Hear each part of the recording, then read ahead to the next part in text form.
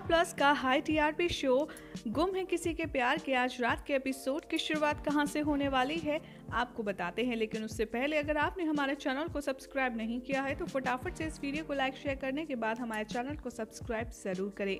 Well, आज रात के एपिसोड की शुरुआत होगी बरखा के साथ, जो सई को एक सलाह देती हुई नज़र आएगी। तभी सई बरखा से कहेगी कि एग्जैक्टली मेरा भी रीज़न यही है, घर वापस ना जाने के लिए।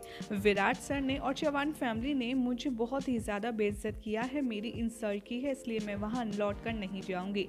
सही यहाँ पर बरखा को एक सिचुएशन देती है और उससे कहती है कि आप खुद बताइए, अगर आपके साथ ये सब कुछ हुआ होता तो इस समय आप क्या करती? तब बरखा कहती है कि हाँ तुम बिल्कुल सही कह रही हो, अगर मैं तुम्हारी जगह होती तो मैं भी।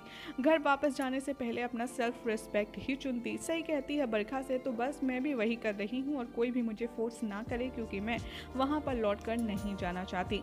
तभी उषा ताई वापस से सही के पास जाएँगे और उसे समझाने की कोशिश करेंगे और कहेंगी कि देखो दमान जित यहाँ पर तुम्हारे लिए आए हैं, उन्होंने अपनी गलती भी मान ली है, तुम्हें घर वापस लौट जाना चाहिए। सही कहती है कि नहीं, मैं घर वापस नहीं जाऊँगी और मैं नागपुर तो कभी भी जाने का सोच भी नहीं सकती। इन लोगों ने मेरे साथ जो किया है, वो बुलाने जैसा कुछ है ही नहीं। विराट फाइनली यहाँ से सई को लिए बिना चला जाता है और नागपुर पहुँच जाता है बहुत ही ज़्यादा भारी मन के साथ। जैसे ही विराट अपने घर पहुँचता है, अश्विनी उसे देखकर बहुत एक्साइटेड हो जाती है और विराट के पास आकर के कहती है कि, आ गए तुम, कहाँ है मेरी सई? वो दिख क्यों नहीं रही है? चलो मैं तुम लोगों के लिए खाना लगाती हूँ। मेरी सई को तो बहुत ज़्यादा भूख लगी होगी, उसके पेट में चूहे कूद रहे होंगे। यहाँ पर मोहित भी विराट को देखता है और सब घर वालों को आवाज़ लगाता है और कहता है कि, करिश्मा, आई, आप सब लोग आइए देखिए विराट दादा आ गए हैं।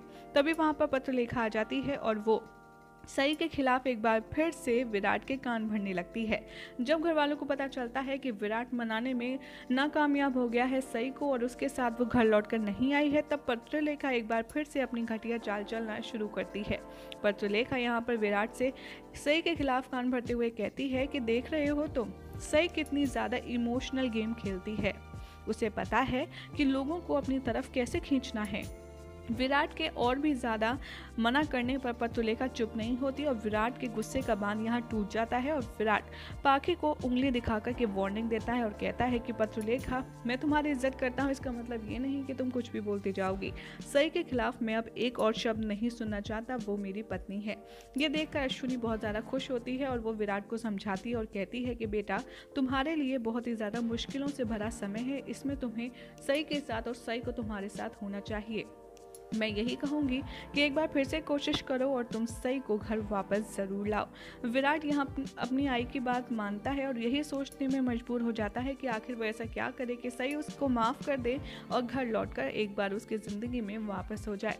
और दूसरी तरफ़ दिखाया जाएगा कि पत्रलेखा का दिल बुरी तरह से टूट जाएगा और वो विराट के लिए अपने आँसू बहाती हुई अपने कमरे में नज़र आएगी। यही हो जाएगा आज रात के एपिसोड का एंड जिसके बाद कल क्या होगा, आप देखिए हमारी नेक्स्ट रिपोर्ट में।